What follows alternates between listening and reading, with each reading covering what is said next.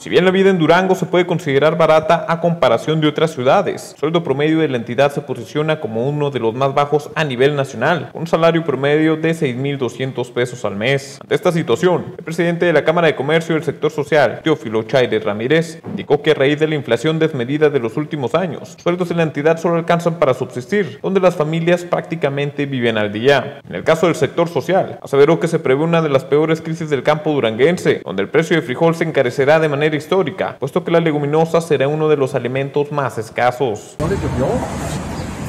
No se puede dar frijol si no hay agua. Sí, ve las matas, pero las vainas están solas.